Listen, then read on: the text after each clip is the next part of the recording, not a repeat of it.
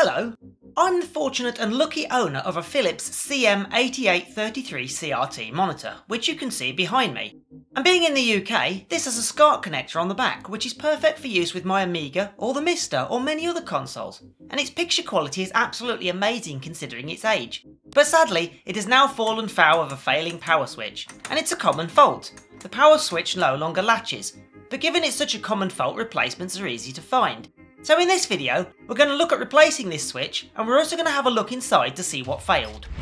Now you see I have this face down on the desk. It's sitting on a towel doubled over to protect the screen. First, I need to unclip the cable from the guide at the bottom and then remove the two screws there, followed by the two screws at the top of the case. Now it's worth noting at this point that CRTs can store a really high voltage even when powered off and disconnected, so care must be taken. And once unscrewed, don't just pull the lid off because the speakers are connected to the main board, so we'll need to disconnect them. And inside? What a beauty. They don't make them like this anymore. This area on the right hand side we want to keep away from, because this is where any high voltages might be present. If concerned, we can discharge this safely, but the area I need to work on is on the opposite side, so we'll be well away from this area. Now, standing the monitor the right way around, the power section is located here. The switch is tucked under the screen at the front, and whilst it looks really complex, it's actually really easy to get to. First, I'm going to unplug this wire that goes to the rest of the monitor. And then the power module simply slides out. Once removed, and to make things a little easier, I'm going to unclip this connector. This goes to the degauss wires running around the outside of the screen.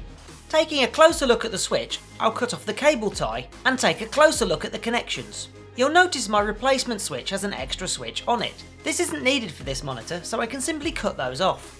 Next, I'll unscrew the switch so we can get better access to its contacts. Remove the plastic switch and then desolder it.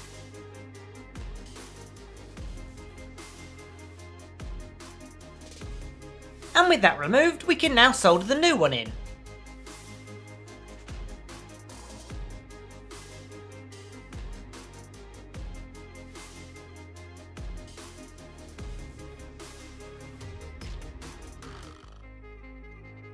And once soldered, I'll screw it back in place.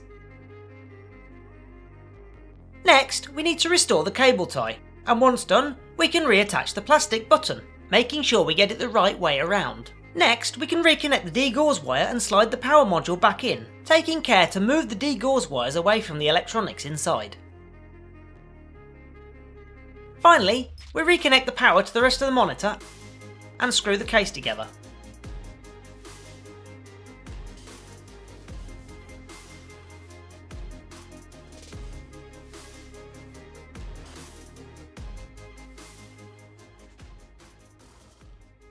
And as you can see, sorry about the flicker, the monitor is now once again staying on with the power switch. Great! So let's have a look at that old switch and see what went wrong with it.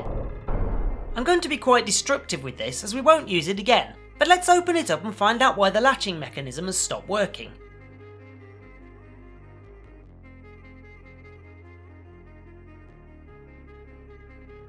Did you see those bits fly everywhere?